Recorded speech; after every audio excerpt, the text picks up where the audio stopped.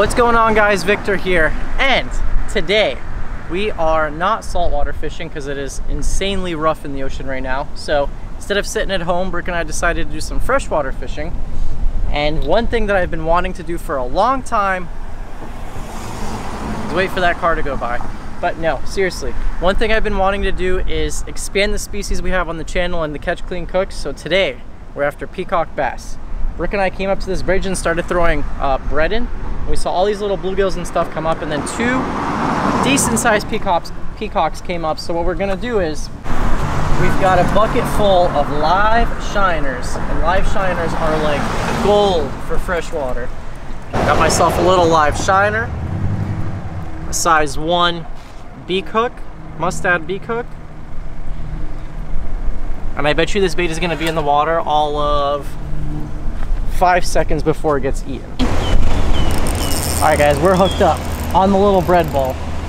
I think I got an Oscar on. Brooke, have been, Brooke and I have been seeing these exotic looking fish. And I don't do a whole lot of freshwater fishing, so I'm not sure. Oh, it's a Mayan cichlid. I've been wanting to do a catch and cook one of these too. All right, check this fish out.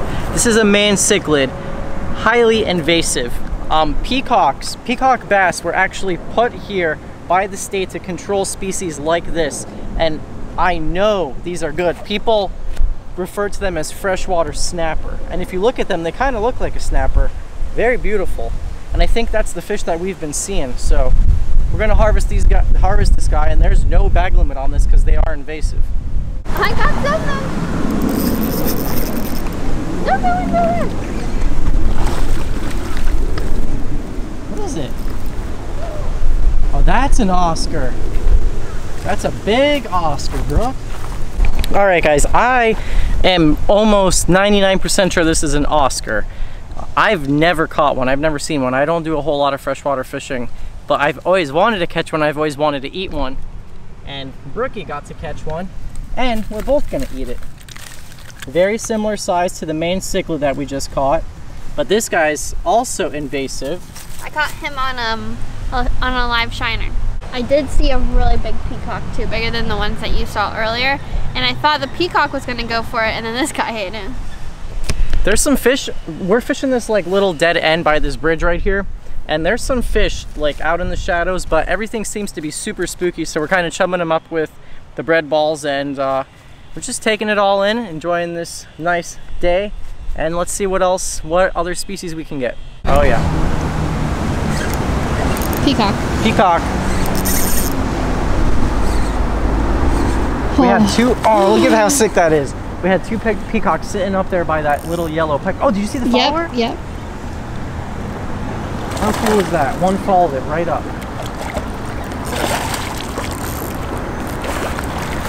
Yeah, baby. Check that out. Brookie got a peacock. I got a peacock. This is gonna be, for me at least, look at how that thing is barely hooked. Tiny hook. They're being super, super skittish today. This one was on a live shiner. You know what I'm gonna do for my catch and cook? We got an Oscar, we got a Mayan cichlid, and we got a peacock. I think it'd be really cool to compare the three. We got ourselves another Mayan cichlid. So we've caught one already earlier today, and this is the second one. These are both good size. That's like a keeper mangrove snapper. It really looks like the freshwater snapper of the canals. So these little guys are super plentiful, schooled up fish. They really do resemble snapper and they can literally be found. If you guys want to teach your kids to fish or your grandpa, your grandma, your wife or whatever, Florida, the cool thing about it is we have so much freshwater, especially in South Florida, canals, lakes, streams, everything. There's literally fishing opportunities everywhere. And I guarantee you this guy's gonna taste super tasty. And these can be found almost anywhere. And I caught him on a piece of bread. I was over there, Brooke was over there talking to our friends, TJ and Shelby. So let's see if we could get some more. This is the last spot we checked out, this little pipe right here, side of the road. Check it out, beautiful peacock right there. I know this video is kind of all over the place. There's so many species. We've tried so many different things. Tried to catch tilapia earlier. That was an epic fail. Hey, look, hook came out. Hold them sideways. How pretty. So Shelby right there, she caught a really big one earlier. This is about the average size you get. It's about a pound, pound and a half. And they have that false eye on their tail. It's absolutely beautiful. We're gonna get, we're gonna let this guy go because we have plenty of peacocks already in the cooler. he like clamped onto my thumb. Nice job, guys. Hey man, you're making my uh, fish look small. Sorry. okay. Shelby literally just caught a crappie. That is, that's awesome. I did not expect that. In Wow. You gotta eat that. Yeah. here. That, that's totally going in the pool. That's food you'll eat that? He's so That's pretty food. too. Honestly, this is my first crappie I've ever caught. I don't think I've ever got one. Yeah. I've That's a caught nice one, too. That's Yeah. a big one. Yeah. The colors are not pretty on him. Right here. Cool. Is that on a live shiner too? Yeah. Really? Yeah, look, it's still on her line. No way. Well, good job, Shelby. Thank you. Are you gonna donate him to the cooler? Yes. Now here's something you don't see often at a fillet table. This big old peacock bass. We just gotta take a second to appreciate this thing. Look at how beautiful it is. This is, aside from a dolphin, dorado, mahi mahi, I think it's probably the coolest looking fish we have in Florida. And I can see why people spend so much time and money chasing these things. Now the ones we get in Florida are not as big as the ones you uh, people get in South and Central America and Brazil. I've already filleted the Mayan, the Mayan cichlid, as well as the Oscar. I'll show you guys those fillets in a second. Now let's go ahead and fillet this peacock bass. So what I'm going to do is find the soft part of the head meat, go from the head down around the pec fin to the belly, just like that. I'm to take the tip of our knife and just outline this fish all the way from head to tail. Nice sharp dexter, makes it very easy. Okay, and then I like to go from the tail back up towards the head along the fish's spine.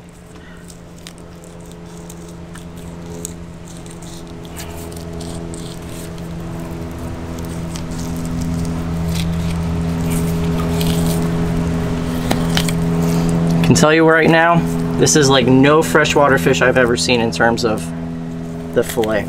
Absolutely beautiful. Now lift this uh, flap of head meat up. We're gonna go over this rib cage, break through the pin bones.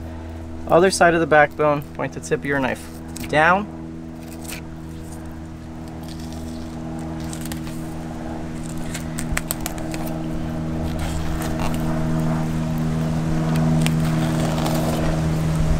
Look at that. I think it looks just like a snapper. Look at that. It looks beautiful. Let's skin them and see what the bloodline looks like. I always like to judge a fish by how big its bloodline is too.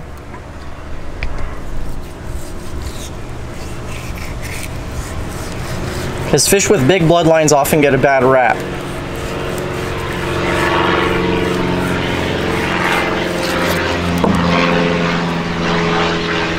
Very firm. Doesn't smell whatsoever. Not too big of a bloodline. So only thing we got left to do is remove the pin bones, which lie from the head half towards the tail half along the bloodline. Take your knife, go on both sides of the pin bones, lift this up, and there you go. There's your boneless, skinless peacock fillet.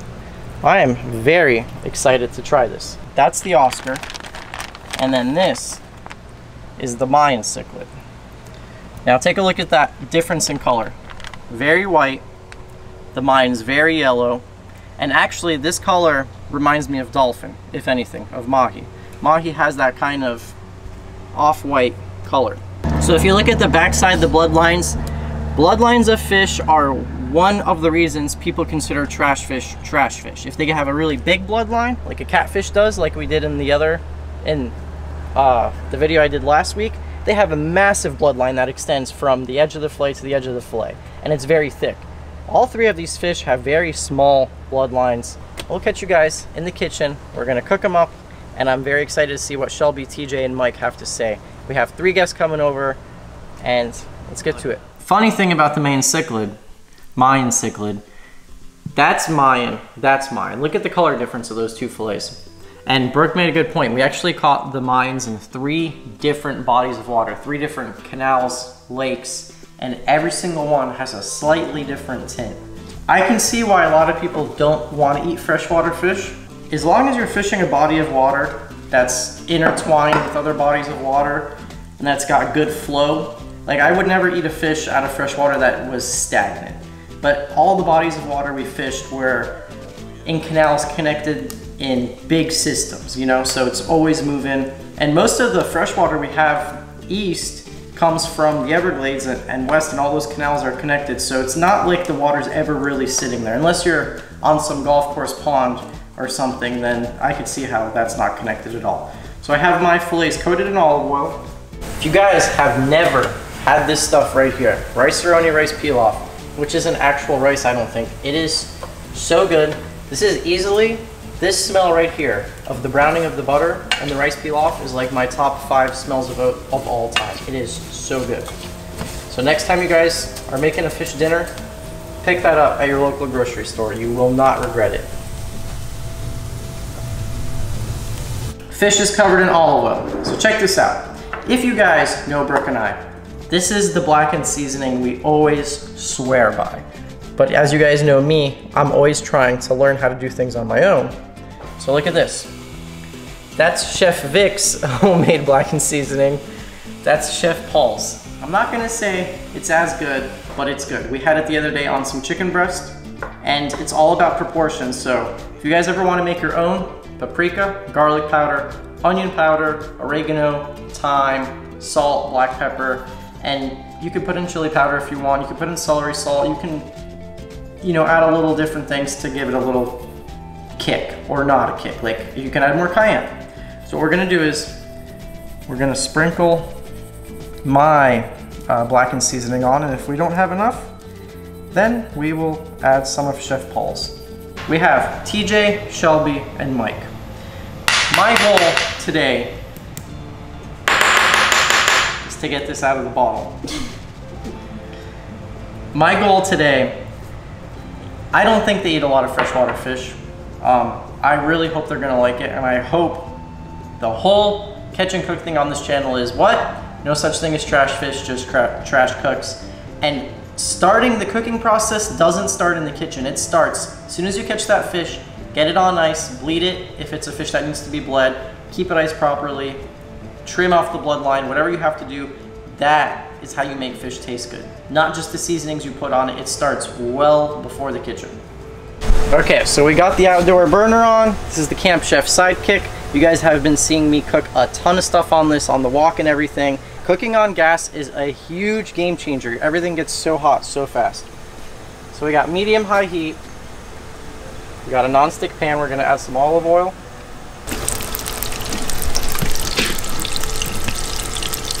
We're gonna add the peacock first.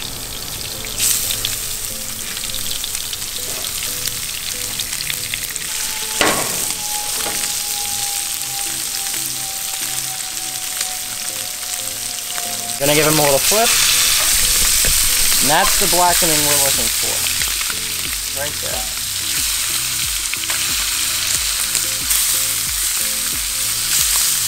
Textbook black. Peacock, right there. Turns white just like every other fish when you eat it.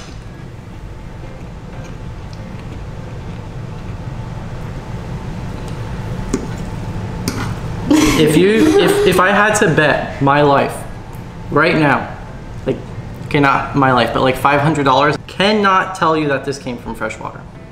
At all. Okay, try the other At one. all.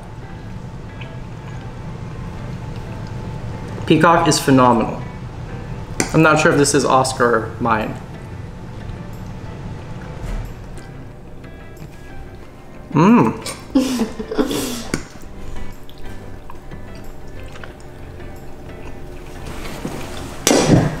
Could never tell you it swam in freshwater.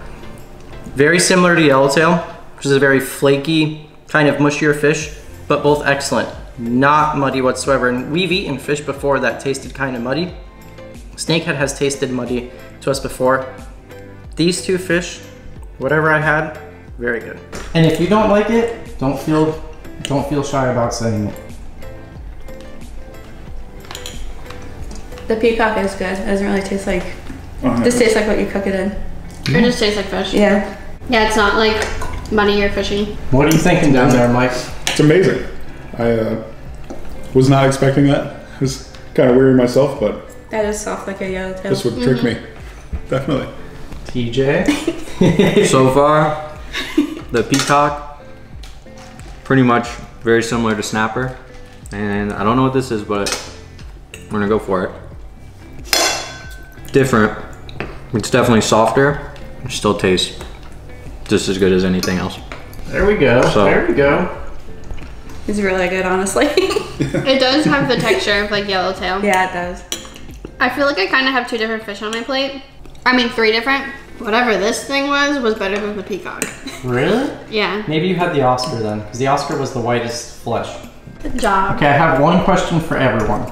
Does anything taste remotely bad? No. No. Hmm. No. Does anything taste muddy? No. No. No. All right, you guys passed the test. I want to thank you guys so much for watching this video, and I think it is so cool that as a fisherman in Florida, if it's rough, you can go inshore. If it's calm, you can go offshore. There's so many opportunities knocking at your door as a fisherman in Florida that there's really like no excuse ever to stay inside and to not eat fresh fish and to not tackle new fisheries and learn new things. There's literally limitless possibilities, and I'm so beyond thankful that you guys allow me to be able to do this for a living and to try new things and everything. And you know, Florida is so diverse in its fisheries, from the freshwater to the saltwater. And that's what I've been telling you guys is this year especially I want to show you guys all of it. There's so many species I still want to tackle. And if you guys um, if you think of something that you want to see on the channel, go ahead and comment below. I do have shark catching cup coming up, all sorts of other species that I want to keep on the down low so nobody does it before us. That's it. So thank you guys for watching and I'll see you in the next one.